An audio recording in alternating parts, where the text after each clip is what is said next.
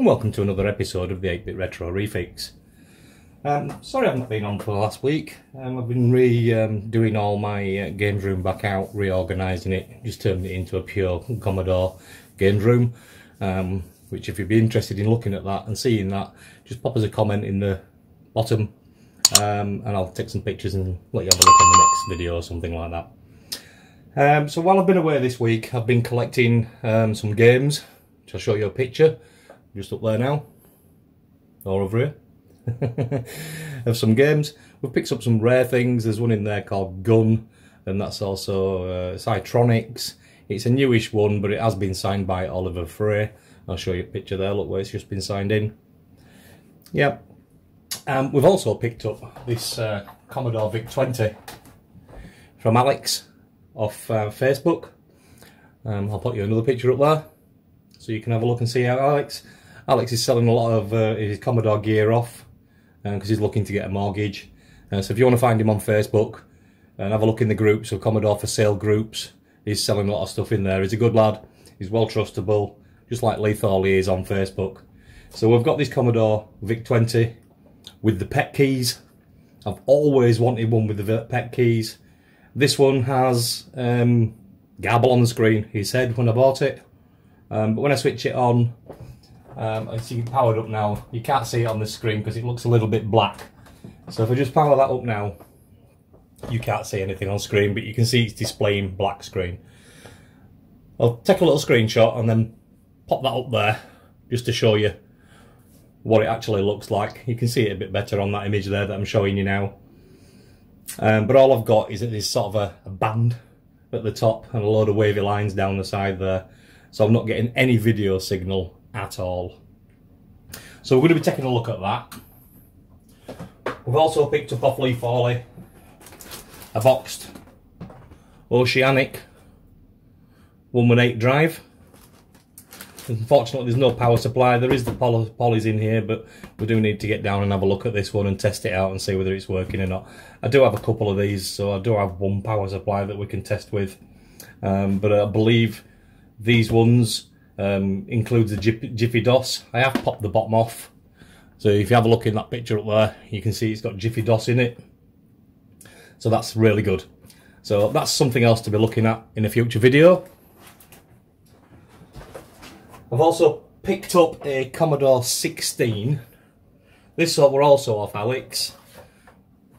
Um, it does work, it's just got the broken plungers in the keyboard and there's a couple of keys missing.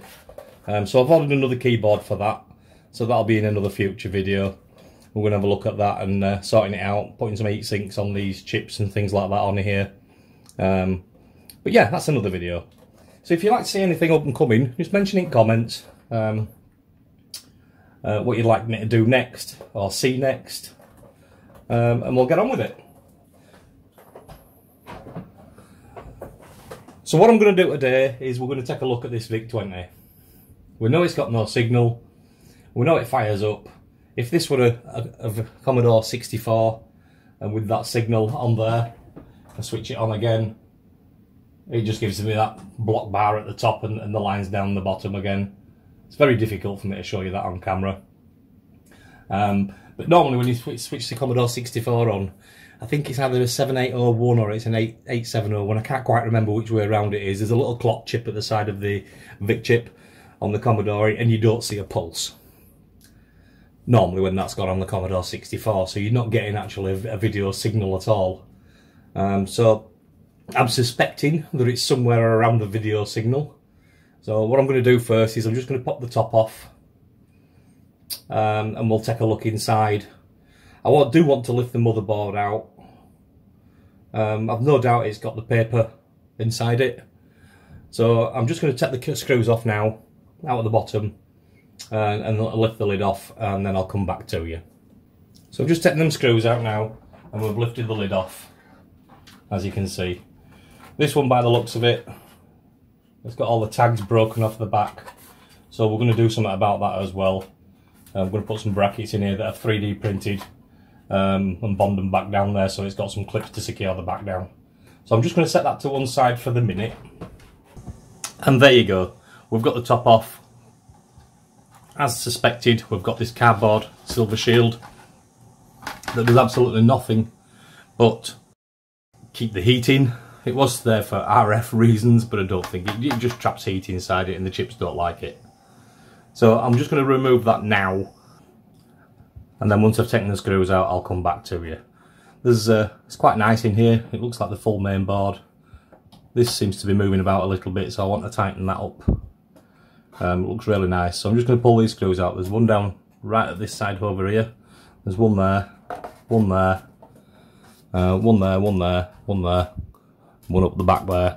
And we should be able to lift this board straight out. Because I want to get shut of this paper, this paper thing shielding underneath it. It's no good for it. it just traps the heat in. So I'm just going to do that now. Um, and then I'll come back to you again once this shield's out and the board's out. So I've just taken all them screws out. I've just popped them down to the side, just just over here on the blue mat. So what I'm going to do now is just lift that board out and get shut of this crappy heat shield that does no good but trap heating. So I'm just going to throw that away now. So that's gone. So just take the base plate away, bottom casing if you like, and then we're down to the main board.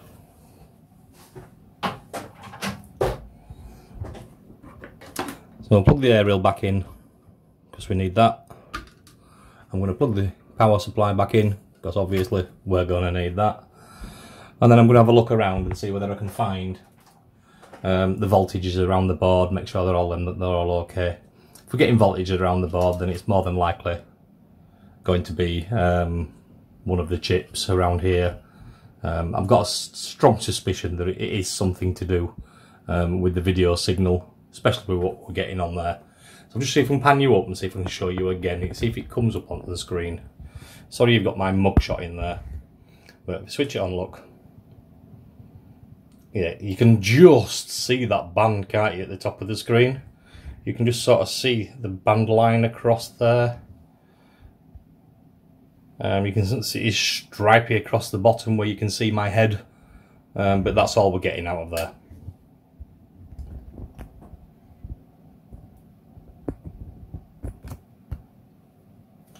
So what I want to do first is I've, I've gone onto the internet and I've found out what we need to be looking at for the pinout on the VIC chip.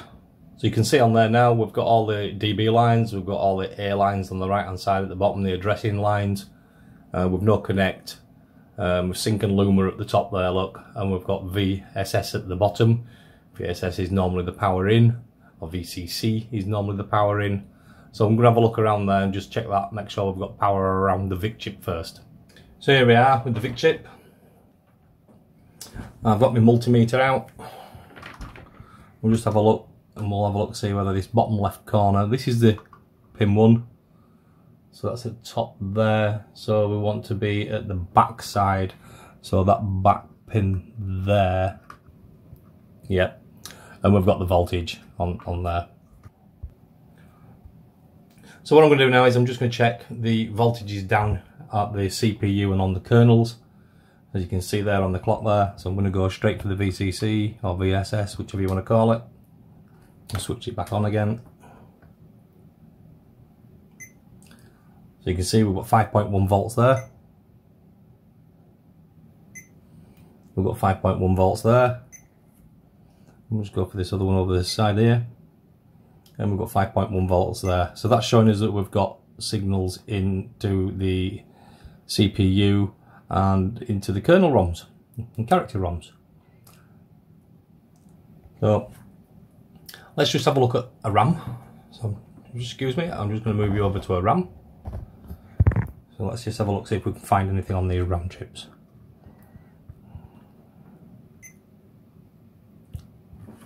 I'll bring that back for you have a quick look, see if you can see, look, a bit difficult, but we've got 5.1 volts on the RAM chips too. Just check the CIAs up here, you can't see that's off screen at the minute, but I'm just going to touch that there. And we've got 4 volts up there. 5 volts on out on the user port 5 volts. We've got 5 volts out on the tape port. So we've got voltage around the board, we know that. So we've still got garble all over the screen. Um, so, I mean, normally I'd look at the logics of these chips first. Again, we were saying to you before about it like the Commodore 64, you mean you've got the logic chips around here, you've got some variable resistors up here, you've one that's hiding around the back of this crystal. Um, so it potentially it could be one of these chips around here. I'm, I'm suspecting it's a 6561 VIC because there's not a lot coming out of there. So what I'm going to do now is I'm just going to pull that VIC chip out of there and we're going to change it and put a fresh VIC in there. Um, I do have a spare. It came out of another board. So we've got this one and it is quite in keeping look. I don't know whether you can see on this chip here, but it, it's upside down to be honest. It's um, 39th week 1981. So this is fairly close. We're looking at 2882. So I'm going to swap that VIC out and put this one in and let's see if it makes any difference to the board. These are usually holding in quite tight, so I'm just going to use my little chip puller here. These are, got to be careful with these because they bend on the end. Um, a little bit bad. It'd be nice if it is just this Vic, make sure it's turned off before we do anything. So I'm just going to lift that into there. It's very tight in these sockets, so I'm going to have to give it a little bit of wiggle and force until it comes up. There we go. That's that out. So if I spin that one round now, as you can see, it's a 6561E, 36 week 81 bit battered up that top side and all I don't know if you can see that, it looks really bad. See if we can get some light on it. On that corner there, looks, looks like it's junk or it's broken. Or it's cracked or something like that, I'm not sure. But let's just try that now. So let's have a look at the silk screen and make sure we're putting this in the right way around. As you can just see, just down that side there. Just down there. You can see the notch out. I don't know if you can see that or not. I'll just try and lift that up a bit for you. There you go look. See that notch? So we know that pin 1 and notch needs to go that way. So that's my 81 chip. Don't want that one. This is his 82 chip. Let's put this one in. It's come out of a good one. So you can see legs are, are good. There's no solder on the legs don't like seeing solder on the legs. It, it destroys these chip sockets, to be honest. So I'm just going to sit that down on the left hand side and put a row of legs in and make sure the other side are, are in as well. I like to try and get it into the centre of the socket and we can just push that down. So that's it. Has that fixed this problem? Can we be that lucky? Let's pan back up to the screen and let's see if we can get anything out of the screen. Switch her on. Yeah, we've got power. Do the keys work? Back arrow, one, two, three, four, five, six, oops, five, six, seven, eight, nine. Pound sign, clear home, goes to top, insta delete. Yeah, it deletes. Uh, CTRL, do we change colours? Yes, we do. Go back to blue. QU, QWERTY. Yep, they're all working. Restore. Yep, that works. Uh, run stop, shift run stop. Yep, break. Yep, run stop works. Shift.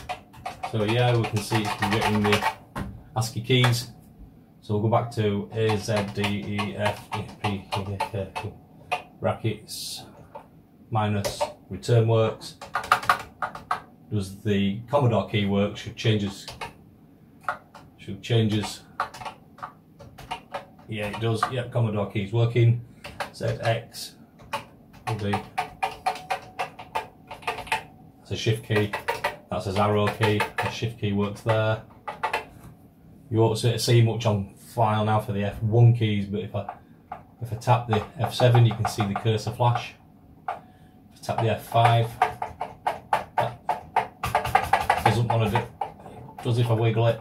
Press, doesn't do all, but if I wiggle it, F3 doesn't seem to do anything. And F1 doesn't seem to do anything. We're struggling.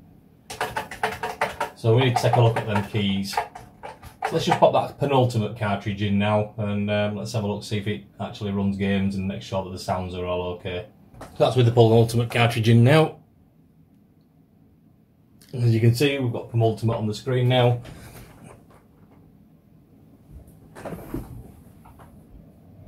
So future of 8-bit titles, let's have a quick look. I don't know what Vicky Bird is anyway, let's just have a quick look at games. Demon Attack. Donkey Kong. Let's see if that starts up.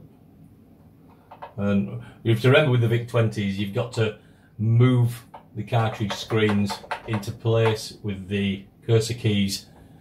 Um, otherwise, you're not going to have a correct screen.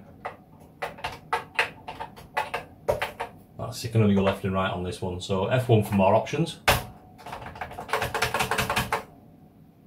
Finally went in, didn't it? Look, for F1. Wiggle it, it comes on. F1 to start.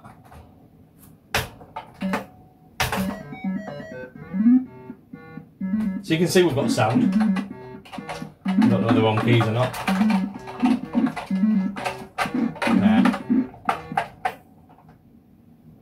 So F5 is a level, F1, if I wiggle it, it'll start. F5 is options, two player level skill, F5 level skill, let's take it right up and wiggle that F1 key. So we know that the F1 keys are a little bit iffy. So I mean, it's got the tags that's broken off at the back. So I, I need to put some of them tags on to secure that down so it doesn't move anywhere. Um, and we need to address and have a clean up of these F1 keys connections with the board. So I'm going to do that now and then we can uh, progress. So I've popped the lid off and we've got the keyboard here now. As you can see we're going to have to have a look at these F1 keys. I'm not going to take them off but we've got a lot of screws to take out at the back of here. I'm not going to take the main board ones out, I'm only going to take these little tiny screws out. I'm hoping that I can lift this, I'll feed these wires through enough to be able to lift that corner up and move it to one side because the F keys are, mind you, we want, I might need not to bother. The F, the, the F keys are down this side just here. So we only need to do the F keys really. So I'm going to pull them screws out all them screws out um, so we can keep everything in true. Might not have to be even bother with them. I might be lucky just to be able to lift it enough just to be able to clean them contacts down this side on these keys. So I'm going to do that now. Um, uh, once I've got all them out, I'll see you back shortly.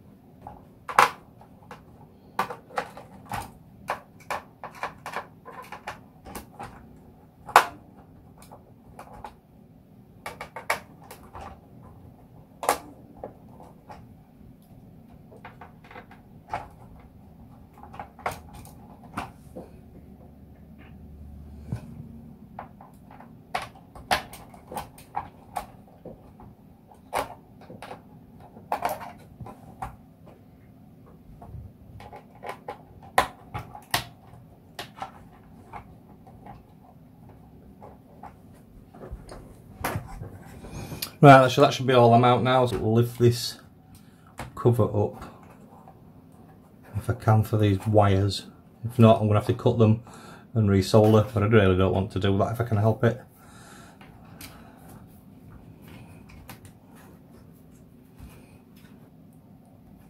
So they're carbon pads. These, these are all little carbon pads. It's completely different looking inside here to what it is inside a, a Commodore 64. I'm just shoving them out of the way over there, that way, so I can get to these carbon pads. And I'm only going all I'm going to do, I know I'm running my finger on it now, putting grease on them, but that, there's not much I can do really. So I'm going to use a little bit of paper, normal standard paper, push down and just rub over them contacts, um, just to give them a clean off, and then I'm going to use some IPA on the underside of the board to clean the contacts. So just thought I'd use a little piece of that tin shield. It's a bit of cardboard look. And all I'm going to do is press down and I'm just going to rub over the top of them keys. Not too hard, not too gentle, just, just enough to give them a roughing. They are carbon at the end of the day, we don't want to rub too much off. They do seem to be cleaning up a little bit better. Yeah, you can see, kind of see a little bit of muck coming off, but you can't really see too much. He's struggling really to see on the camera.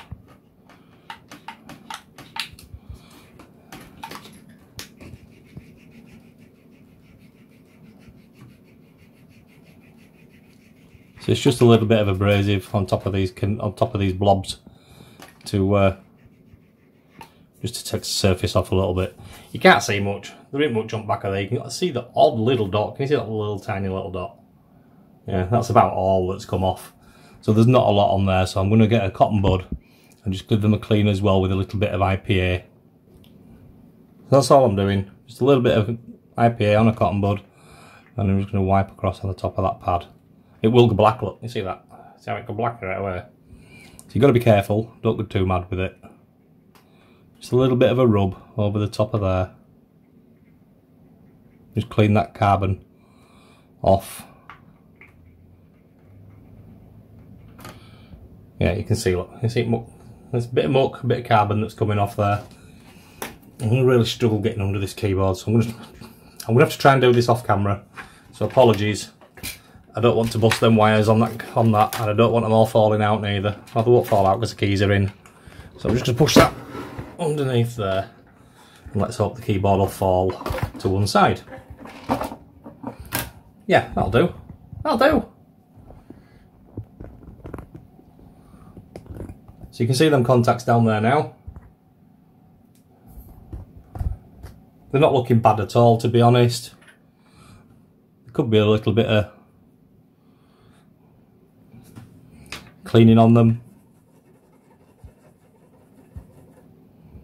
Nah, doesn't seem to be much muck coming off them. They are copper contacts, these ones as well. These are not these are not carbon, so you can give them a good scrub. We only need to do these ones anyway because the uh, rest of the board was okay. I could go around and do the whole board, but if they're working okay, there's no point in disturbing. Let's let sleeping dogs lie. You know. In saying that, I'm just here now. We'll do the return key because that's quite common. We'll give that a bit of a clean off. And then you go off on a tangent and you start doing them all.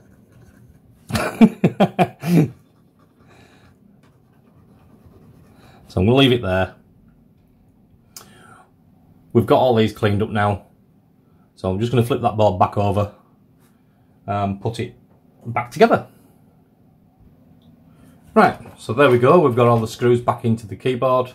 Um, I've just put a little bit of sellotape over the top of that to try and keep it original because it's got dates on there and things like that. Try and keep it as much original, original as possible.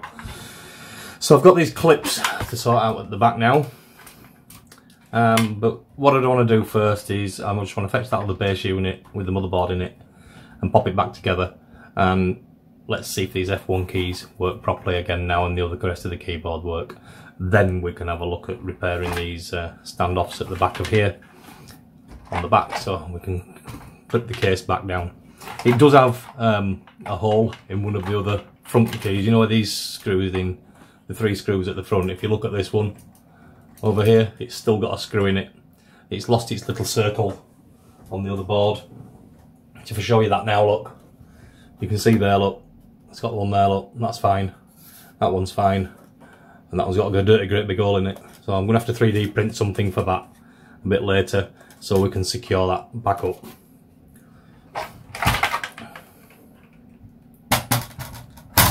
I'm just pop that back down there again for a minute.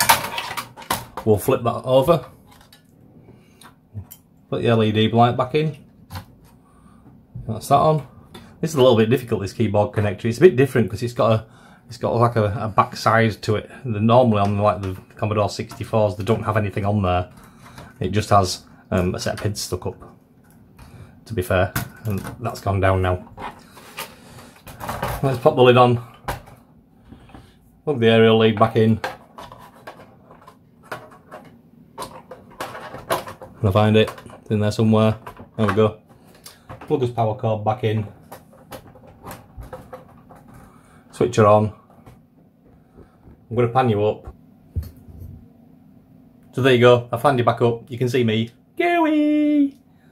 And there you go. We've got the menu now for the penultimate cartridge. Um, it is a PAL unit because it's just flashed up on the bottom left side of the corner. Um, what I'm going to do is press, it says here press F1 for OK. I'm going to press F1. That worked instantly. Did you see that?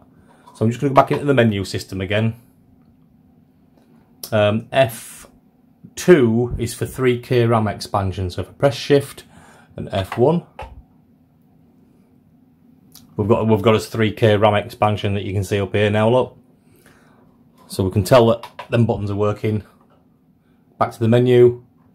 F5 we're a bit iffy on it, so let's try 35k. Yep, we've got 28 bytes free, which is really good. So that's showing that that's working.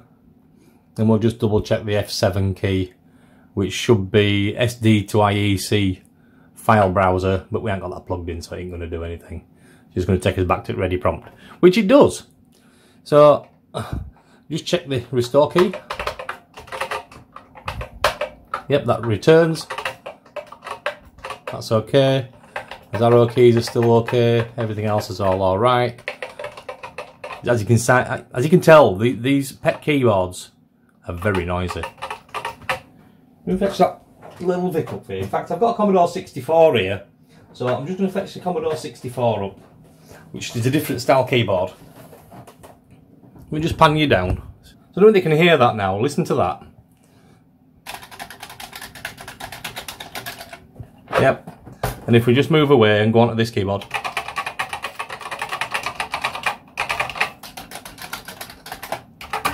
Very noisy these PET keyboards, but they are beautiful. They are really, really nice. They look completely different in comparison to the other ones. Even the keys themselves, if you look at the Commodore keys, you can see how the slope, how they're sloping upwards. They're right at the very top. But then when you look at the Vic ones, let me just put that away.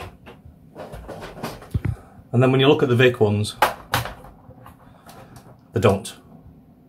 They don't slope at all. The, the keys are, are all upright. They're all facing straight up. There's no curve to it like they did on the Commodore 64. Um, even the even the F1 keys is the different, but they are a beautiful keyboard. I do really do like this. So it is a little bit yellow is this, so it is going to need a re retro bright in a bit of time. Somebody did post on my last video that they wanted to see me do a retro bright. I'm just waiting for a bit more sun. Here in the UK we don't get it that often. Unfortunately most of the time when I get the sun it's while I'm working Monday to Friday. Um, you miss out on the sun so it's difficult for me to retro bright while I'm working. Um, so I'm, I'm, waiting for the sun on the weekend and then we can get this retro brighted up and make it look like new again. Uh, so what I'm going to do now is we're going to address them rear clips at the back here that are broken off um, with some clips that I've made. So I've trimmed them down a little bit, but what, what you get, they're all different sizes, these clips. So what I did is I 3D printed these clips. As you can see, what they do is, oops, they just go up against the board like that, and that creates your, your little tag at the top there. So you just need to bond these to the back of the case. But you can see how thick they are. Some of them are thinner, some of them are thicker. So I've had to trim these ones down, I just used some clippers. As you can see the big difference in them in there. Right, so I've taken the keyboard back off the top and moved the base unit out of the way. Um, all I've got is a little bit of sandpaper here, so I'm just going to run into these little gaps down here. That will do when I've folded the sandpaper small enough. See if that goes in there better. That should do. Yeah. So as you can see, all I've done there is put that in there.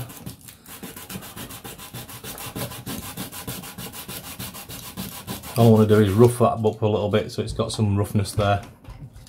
Same with the other one. It's just so you're taking any films off or you're taking back down to nice clean plastic. So it's got something better to bond to and a bit more of a key.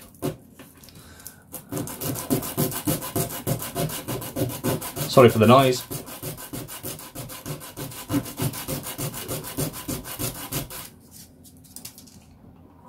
So that's them sanded down. That's all we need to do. I'm going to get these little strip clips here, what I've put on here as well. So I'm just going to give them a little sand. Shouldn't have to, there's plenty of keyable items on there that we can use. But just give it a little rough up, make sure there's no greases on it, a bit like the other ones.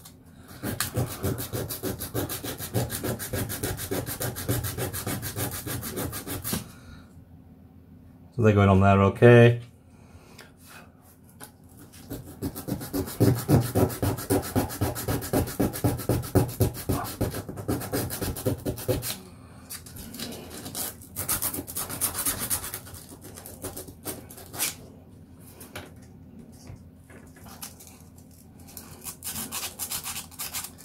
clean up the shoulder where it sits in onto the case.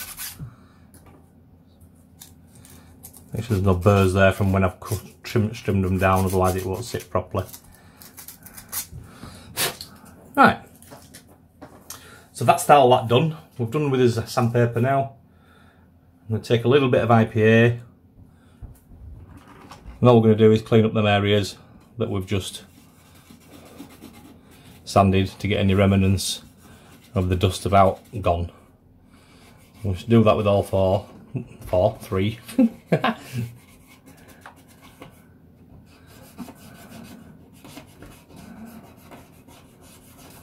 so they should be really clean now.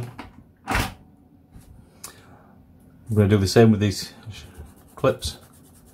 Just make sure there's nothing on there. They're all nice and washed off. And we're just going to let them dry on their own accord.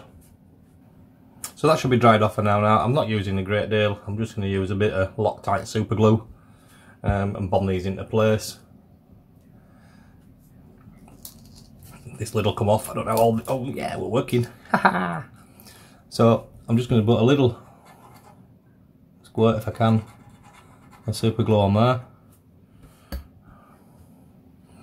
I'm going to put a squirt of glue on here right up into that brim and then mess it about down here. Around the bottom, we want some glue up there. So I'm going to put that down. Let's flip this over. Now it's sticking to my fingers. no, don't get super glue on your fingers. I'm going to put that in there and I'm just going to push it up to its point to where it should sit. So if we have a quick look at them now, you can see how they work. So we've got those little clips in place. They should go straight into the um, casing at the other side and hold that back down now. So what I want to do is just leave that for five or ten minutes while the glue sets on them clips. So there you go, you can see how them clips sit in there now. They're just sitting there nice and neatly. Um, I'm just going to pop them down now, put the keyboard back in. Then we'll have a check over and make sure it's uh, working again. That's the keyboard in there. So just shut this lid down now and then I'll come back to you. Right, so I've got them clips back in. All the cases now securely at the back look. We can nice and solid. We're all back together. We've got our keys working. So I'm just gonna have a little play of a game now and we'll have a look and see if it's working properly. So I'm just gonna pan you up now and we'll uh, fire a game up. So there you go, we're into the menu of the penultimate cartridge. We'll go into games, battleships, Dig Dug. Let's have a little bit of Dig Dug.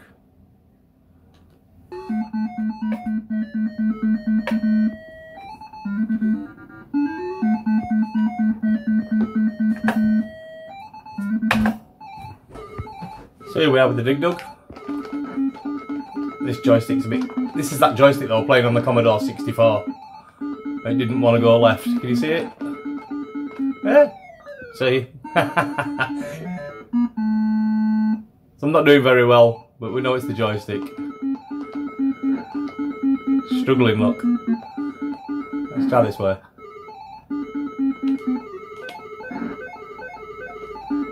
It's going now, look. Oh, it's going, it's going. He's gonna run away now, look. See ya.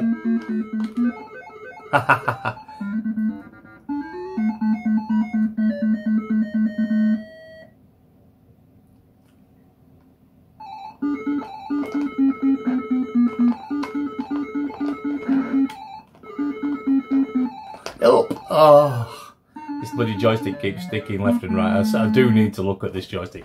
This is the joystick that we were playing on the Commodore 64 and it wouldn't go left.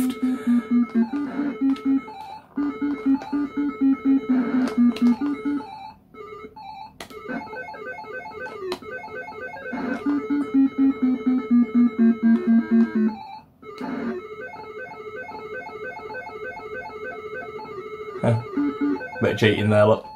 We cleared that round off as well. So yeah, so yeah, there, there you go. It's, it's, she's up and running. Is the Commodore, is the Commodore VIC 20 uh, with the PET keys. We just turn the sound down on that for you. So yeah. So I would say that's a, a nice fix. Sorted and done and dusted. We've got ourselves a, a nice VIC 20 with the PET style keyboard. Absolutely awesome. I've got a lot of other things going on um, that I'm going to be showing over the next couple of weeks. We have got quite a lot of bits and pieces in. Um, I bought a new oscilloscope, the other one packed up. Um, so if there's anything that you want to see, just just put down something down in the comments. Um, I've also posted a link now in the description for um, donations if you feel like donating and helping on the channel. I don't have Patreon yet, I'm only just starting out. Um, if you want to donate any goods to help me out with the channel, please use the email that you can see at the beginning and at the end of the videos and I'll put that in the description as well for you. Um, so yeah, so thank you very much for watching another episode of the 8-Bit Retro Refix and we'll see you on the next one. Bye!